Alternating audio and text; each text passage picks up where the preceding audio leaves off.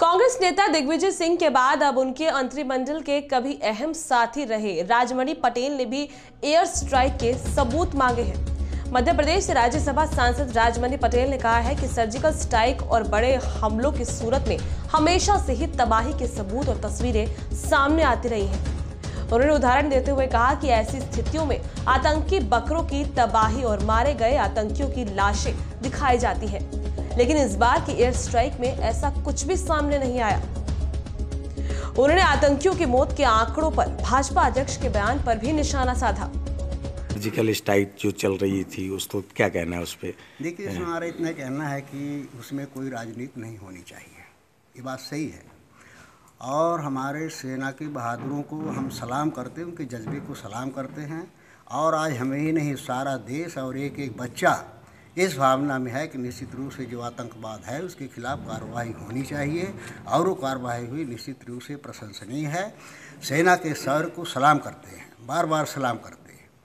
लेकिन जो उसका एक राजनैतिक दृष्टिकोण से जो विश्लेषण करने का प्रयास किया जाता है, श्रेय लेने का प्रयास किया जाता है, वो नहीं होना चाहिए। क्योंकि अभी तक जितने सर्जिकल स्ट्राइक हुई हैं, बड़े से बड़े हमले हुए हैं एक एक आप सब लोगों ने देखा होगा कि कभी माने जहाँ सर्जिकल स्ट्राइक होती है, वहाँ का पूरा पिक्चर माने पब्लिश होता है। कि वहाँ कितने बंकर बंकरों को दिखाया जाते कि बंकर टूट रहा है, इतनी लाशें पड़ी हुई हैं, इतने आतंकवादियों को मारा गया है।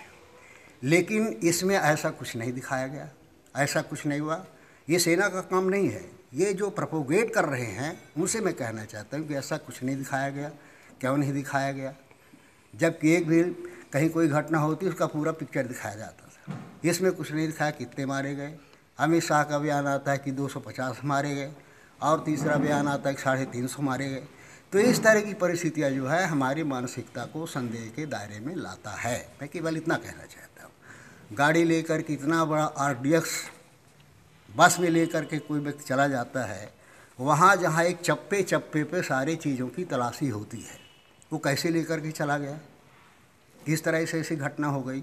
तो कुछ ऐसी परिस्थितियाँ हैं जो माने संदेह देती है, जिसका एक स्वाभाविक एक सबके हृदय में प्रश्न उठता है कि इसका जवाब मिलना चाहिए। इस पर माने जो है तो टीका टिप्पणी होती है। इसकी बात हम लोग करते हैं। बाकी उसमें किसी तरह का शौर के संबंध कोई भय नहीं है। सलाम करते हैं और हमारी बहादुर सेना है, पुलिस है, निश्चित रूप से उनको कामयाबी मिलेगी और इसका बदला लेना राम मंदिर का मुद्दा भी अब काफ़ी गर्माया था, फिर ठंडा हो गया। राम मंदिर का मुद्दा तो आप सब लोग जानते हैं कि एक लंबा मुद्दा है, जब चुनाव आता है, जब उससे कुछ फ़ायदा राजनीतिक लेने की बात होती है तो राम आ जाते हैं, उसके बाद पाँच साल राम का व्यापार चलता है।